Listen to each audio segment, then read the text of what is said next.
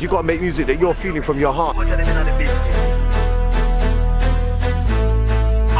You know, do you want to do this? Are you doing this just for money or are you doing it for the love of it, man? Because I'm doing it for the love of it. That's why I'm still here. So here how the story go. So this is my destiny, power divine it invest in me. Got a lot of love and interest in It me. was just endless partying, man. Trust me, man. When people keep testing me, police always arrest This is like the chronology here, man, of the, the history of an MC. Yo, man as a sufferer, this is the greatness. Get to understand this, a life is a great test. Papa drive bus, and mama a waitress. Me are the first son and I'm determined to make it. 14. Right here in Walthamstow Central, you know what I mean? Down there, just a bit further down there, like over the back there is Walthamstow Market, and I used to work down there, and there was an amusements arcade down there called North, so I used to go in there all the while. There's a guy there called Vince, and he taught me how to play pinball and pool. He never knew my name, he just used to call me Specky, and it kind of stuck, you know what I'm saying? And like when my school friends heard that everybody was calling me Specky, they was pissing themselves laughing, like, what kind of stupid name is that? But you know what I mean? It ended up Specky Ranks, you know what I mean? Got big, man. I ended up on Unity and kind of blew, you know what I'm saying? So, yeah, man, that's how that's how I got the name Specky. Police always arresting me. Wanna see me lock up in a penitentiary. Yeah, man, this is Tottenham, you know what I mean? This is my real manor, man. This is where I like grew up from like I was 16 years of age. Right now we're in the corner of Seven Sisters, and this is the first place where I ever went to a reggae dancehall session. My first kind of teacher, vocal teacher. Like even though I could chat, you know, you still needed that guidance from the elders. Was a man called Roland Festus Irie. Big up Roland, my brethren. Yeah? General in the business. When I first used to go on there, I used to be on some kind of some Burro Banton kind of a vibe, you know what I mean? You know what? Me long, me chang, me have ambition, me weigh about a quarter and 55 ton. And them, them sort of kind of vibes. Um, but then he kind of, you know what I mean, came with this kind of briggy kind of a style. You know, and other things, you know what I mean? Nobody come about ya. And them type of vibes. And that's what Roland taught me how to do, man. Festus Irie. It used to be a real community thing, you know what I'm saying? People used to really stick together and, and follow their sound and support their sound. That's how it was back in the 80s, man. It was a real nice time, trust me. Oh my God, man. This is... Man, Jungle Youth, man, from back in the days, man, on Broadwater Farm, when we all used to be chatting sounds together. And he knows about my history, you know what I'm saying? We grow together at certain levels, man, from back in the day. 80s, man. Me start to invest money, buy a couple property, upgrade me trans speed, go buy Mercedes, dip on him. All of them, man, there's enough, man, enough of the man right now that's coming up. I most probably know their mums and dads. Yeah, yeah. Yeah? Man, if there was no such thing as music, Tottenham would have invented it, believe me. Down. This was this is Broadwater Farm, man. This is my ends. I lived on this estate for 10 years of my life. Throughout the 80s, man. From 85 to 95, I lived on this estate. Right, right. Come along, oh, eh. oh, oh, oh. Right now, this is my block. This is my original block when I used to live on the farm on Broadwater Farm, man, Debden. I lived at number 87. Over there is the ends, man. This is the farm, man. It was dark them times. In 1985, yeah, that was the year of the riot. I moved there two months before that. These whole streets were just glass when I woke up the next morning. And out of this hell, you know, we made something happen. And we went out there, we spread that message to the world, made this music thing, you know, that was my hope. That was my, you know what I mean, that was my dream, man. All, we all come from here, man, all of us, man. Broadwater Farm. You see it? Hey, remember Sanjinam, Broadwater Farm, real stand up and Brixton. You used to come and used to put an intelligent edge. You had this lyric, you used to have this, uh, I can't remember, lyric standard and lyric construction. Yeah, something like that, yeah. Navigate, I full up Something on like navigate. navigation, shut very them well, up. yeah. And you had some proper lyrics. And, and you know, we used to always have our little, our little Walkmans with record on it and Yeah, just yeah, hold it like that and record it. The roughest sounding recording you'd ever have. But when you go back afterwards, days later, it was always Specky, Navigators. That, those lyrics are heavy, those lyrics are heavy.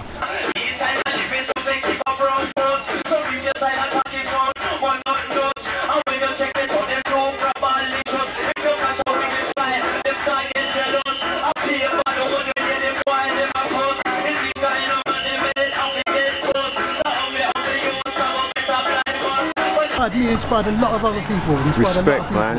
I'll tell Respect, inspired man. a lot of other people. You brought intelligence into lyrics, man. A lot of intelligence into lyrics. French. It's from the, it's from the neighborhood. You get me? Born and bred, grew. And he, he went out there and done his thing. You know what I'm saying? He represented. And we love him. yeah. Long time, man. He's always welcome, guys. This is his home. Yeah, man. You don't know. Yeah. 1985, 1986 was when I acquired the name Navigator. Before I was just known as Specky Rankin. So it was Roy Ranks the teacher, Demon Rockers the lyrics poet, Flinty Rankin the badness educator, and me as the last man joining the sound, I had to have my little the, and mine became Specky Ranks the Navigator. You know what I'm saying? But Unity was a big sound, and in 1987 we basically was running it, seriously. 86 we join Unity click We done run the circuit and it was fantastic. Uh, 88 we win best sound. Me realize me could not go no further so me step down. Take a trip across the Atlantic Try go a Jamaica to find me heritage and From the minute me touchdown. Me see the signs say that my life a go change Reach back a London with a brand new plan New inspiration, a completely changed man then God bless me with the opportunity to go a university to learn to make jewelry Yeah, meanwhile me that chat pan radio Me ever in a studio, me repetition start grow Yo, 93 was a good year Becoming in really start to get known no? Let me see what's going on? Yeah, see what he looks like under a bright light, see if we can see the age marks and wrinkles. Poor Joel. You're such a poor soul. aren't you? There's nothing. I still love you. I still love you, bro. Yeah. I mean, basically, I was in Jamaica for like six months, and yeah, I came back to England, knew that I had to make some different moves. I wanted to leave sound systems. It wasn't really working out for me the way how I wanted it to work out. So when I was in Jamaica and I saw them guys doing it live on stage and live on sound systems, it was just a different level, you know. And I just knew that there was that wasn't my origination. That was my schooling, but it wasn't my origination. My origination was in London with that flavour, that heritage, Jamaican heritage. So therefore I had to somehow try to cross my UK roots and my Jamaican roots together and make music that would be viable to a UK public where we could build our own fan base for what we did as individual artists. And within that period of time while I was looking, I decided to go into something which was the jewelry. I, I by luck had broken a, one of my safety chains on my bracelets, and uh, my ex-girlfriend said, "Yeah, my dad does jewelry," and uh, she brought me down to the workshop, and that's when I met Winston over there. I mean, I tell you, boy, Monday, yeah. I was on my way down to the workshop. This is my speciality back in the day. I used to be the, I used to be the man that used to cut out all the little, all the little cut out stuffs. Yeah. So basically, this is, I forgot what's the name of these swords again? Piercing frame. This is a piercing frame.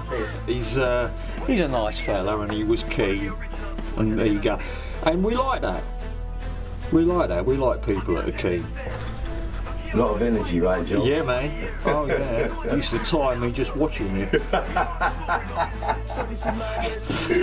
yeah, and you still got it. And I'm jealous. That's why you bring out the best in me. When people keep testing me, police always arresting me. Wanna see me lock up in a penitentiary? Still me have to fight to survive. Yo! Gonna go see one of my other godfathers, a gentleman called Ted.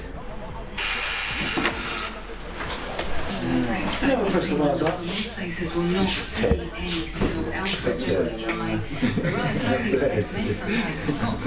I was working a lot with Ted. I was renting a bench from him. And at the same time as learning jewellery, I had my eye on the market. You know, But you see, he was born for music, so this is why he can't stop. So no matter obstacles in the way, he'll always be heading back onto the music. And then all of a sudden, I hear this track called We Are E, yeah, and I hear this B line, and it's just like, and I'm like, yeah, that's a proper B line now. You know what I'm saying? And that was a point when I was like, yeah, that's what I want to spit over. You know, and this is like 91 here. So this is just two years before Jungle actually really got established. But that was a sound. And that was when I um, decided that that's the sound that I liked out of all of the rave music that I was hearing, because most of it was just bleeps, you know, and I wasn't really into that. I didn't, I didn't identify with it because I came from drum and bass, B line, and drums, you know.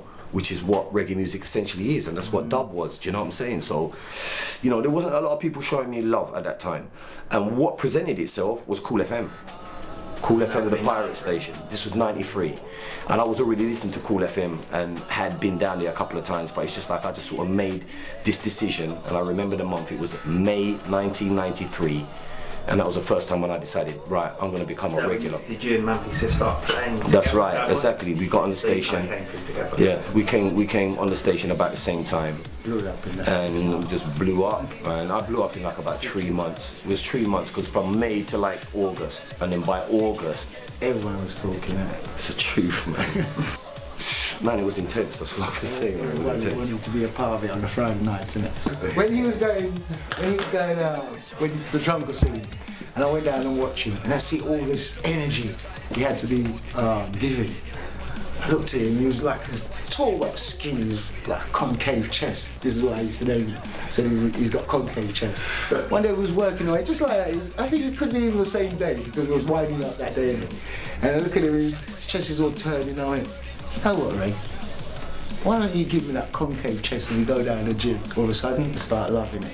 Couldn't stop every day, sometimes five days a week. Chin ups, you know what I'm saying? Like chin ups. I couldn't. The first time I went up on the bar, and I went like that.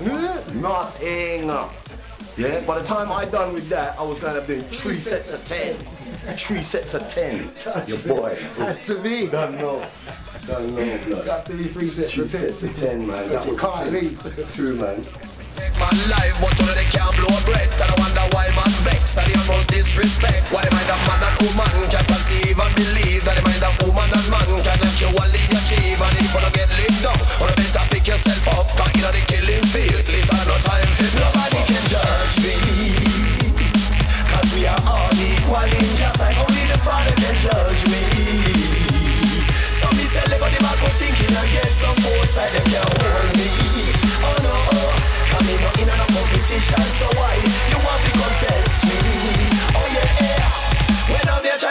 just.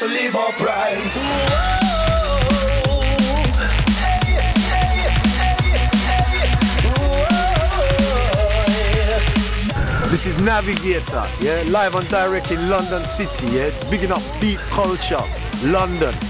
This is what we do all day, every day. Music, we make beats, we spit rhymes, we write bars. Beat culture, that's what London actually represents.